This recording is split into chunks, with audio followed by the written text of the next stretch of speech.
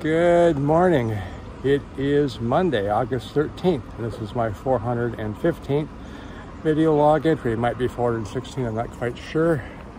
I've just finished a four mile run. Did the usual Legion Lake and short route through the port.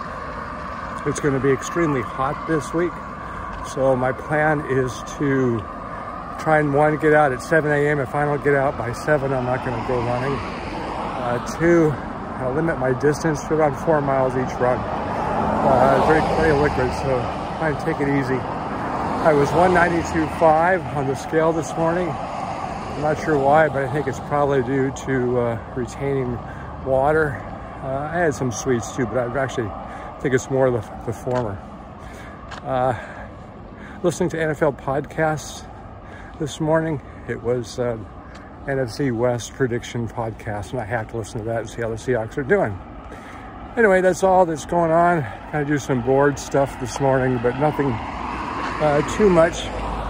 And we're taking it easy, man, because it's going to be hot, hot, hot. Sleeping at night's okay, but we have a lot of noisy fans running, which kind of keep me awake. Kim sleeps through it. Doesn't bother her at all. And we're really going to test out a combination of our air conditioner in the front room and our bed cooling pads in the back room. See how those two things work. Seem to work okay.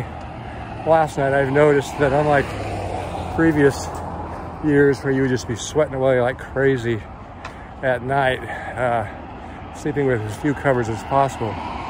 With the bed cooler, you can actually have blankets and, and not have all that miserable sweat. So seems to be working. And that's all that's going on. Hope you're all doing well. We will catch you next time.